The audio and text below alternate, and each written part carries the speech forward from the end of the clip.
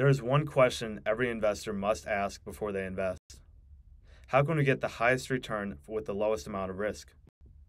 We call this risk adjusted return. My advisors and I believe that value add real estate can give the highest risk adjusted return of any investment. Disclosure Westrock Equity members do not provide investing, legal, tax, or accounting advice. This is for informational purposes only, and this is not an investment offering, and you should consult your own advisors before engaging in any transaction. Weston, what is value add real estate? Value add real estate is pairing renovations with organic market growth to outpace traditional investments. But there is a certain way to invest in value add real estate. This helps us avoid mistakes and make higher returns while doing no work, just providing capital. It's called private real estate investing. In private real estate, you partner with an experienced operator who does all the work renovating and operating the properties you invest in. Most of the money the operators make comes from the back end sale, not from fees. This highly incentivizes them to perform for their investors. On top of that, they often invest a significant amount of their personal net worth alongside their investors. This creates an alignment of interest with investors. So, why private real estate? Private real estate offers protection of capital if you find the right deal and you structure it correctly. It offers high velocity appreciation if you pair renovations with the long term growth of the market as a whole. And I like pairing renovations with the market growth just because I don't want to rely on the market which can go up or down at any point. Um, we just we just like renovations because we have more control over the price of the property, and so if we can increase the rent, so we can increase the value of the property, and then sell for a profit and exceed projections. Um, it offers a high alignment of interest if you structure it correctly with the operator. Um, the number one factor is how much how much the sponsor is investing their personal net worth in the property, and then also the fee structure that they have. So we want them to be incent- incentivized to perform um, perform the property and get paid on the back end rather than just from fees. Private real estate offers cash flow growth long term. You know, if the you know if the market does good, of course, there's always risks in investment. Just a disclaimer. Um, it offers low volatility and it's not correlated with the roller coasters of the stock market. It offers tax benefits and depreciation and 1031 exchange and you can diversify in multiple properties. How private real estate investments can outpace traditional investments. If we pair organic market growth with renovations and operational upside, we can exceed projections for investors. Operational upside by improving management. We can do this if the old operator had a bad manager or they just hired some people to manage the property. We can bring experienced managers into the property and improve management, which makes the tenants more happy and more willing to pay a higher rent price.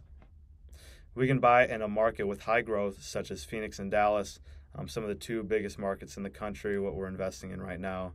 Um, so we pair organic market growth with renovations, uh, which will dramatically boost returns. So here's a little bit of how we protect the downside. So we want to work with the right operators who have experience with the asset class we're investing in and the market that we're investing in. So, for example, this year we worked with an operator who specializes in value add multifamily. So they buy the property, they renovate it, and then they sell for a profit. Um, we want to see that they have experience in the market that they're investing in, so they're not a new player in the market. Um, we want to have we want to see a track record on their end to reduce the risk for investors and basically have a rinse and repeat process with the sponsor that we're investing in uh, we want to see that they've done this multiple times. We also want to use low leverage to have more equity in the property, more cash, um, just to protect the downside if a recession happens. Um, there's always risks, and we want to protect that as much as possible. We also want to see from the operator that they have a consistent ability to renovate properties on schedule and on budget. We want to see a high debt service coverage ratio, so we want to cover the loan very easily, and we want to see a low risk break even occupancy. What this means is we can see how many people can leave the property and we can break even on the cash flows. Here are more ways we protect the downside. We want to purchase properties with below market rents with loss to lease and renovation premium.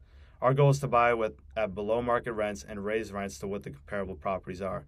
So we don't want to reinvent the wheel and charge what other properties haven't achieved yet. We want to just buy at what below the market rents are and just raise it to what the bar the bar already is with the comparable properties. We want to see a market with population growth and diversified job growth where we invest. Uh, we want to see, we want to have significant reserves or cash reserves at the property level if anything unexpected goes wrong. We just want to have cash in in order to fund something that goes wrong in the property, and that's the ways we protect the downside. So here's what we look for in operators. We want to see a track record in the market and especially the asset class they're investing in. Uh, we just want to see, you know, experienced team that we're that we're investing with. We don't want to invest with any new players in the market or the asset class. We want to see transparency in their reporting. We want to see an alignment of interest. Um, basically, this means sponsors heavily investing their own money into the same project, and they're also incentivized on the back end of the project. So they're incentivized to perform, you know, on their operations and construction. And we want to see properties that fit our underwriting criteria. So here's some private real estate tax benefits. Just a disclaimer, I'm not a CPA, so please consult your own advisors. Private real estate offers depreciation, so basically passive losses offset passive gains. This drastically reduces investor tax bills. If you or your spouse qualifies as a real estate professional, you can write off against active income, and investors often pay little to no tax on cash flow. So, for example, if you make the same cash flow from real estate and a stock dividend, cash flow from real estate will be worth more after after tax because of depreciation. And if you have any questions about this, please reach out to me. It, al- it also offers a 1031 exchange, so investors can reinvest into another property tax free, which further accelerates returns because you don't have a tax burden. Here are some reasons why people invest in private real estate. It offers an alternative to the stock market, it offers cash flow growth, depreciation tax benefits, and people want to invest in real estate, but they don't have time to manage everything. So for some people, it might be more important to focus on their own job or their own business and make more income there and then invest passively into these private real estate offerings. So here are some reasons why people don't invest in private real estate. And I just include this for transparency because I want people to be aware of everything that goes that goes on in this. Um, private real estate is illiquid, so it's not like a stock and you can sell it at any time. It you, you get your money back when when the property sells or when the operator sells. It also is a limited partner investment, so basically you don't have control over the property. Um, this is what this goes back to what I said earlier about working with the operator and picking the one that um, aligns interests with investors. So it's really important who you work with in the space. So here's the final suggestions.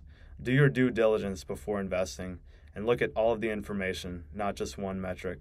So, for example, invest, investors only looking at IRR returns will not have a full picture of the deal.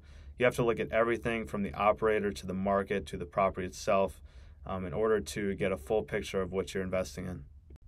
So, if you're interested, scan the QR code if you want to learn more about private real estate investing or click the link in the description. Thank you.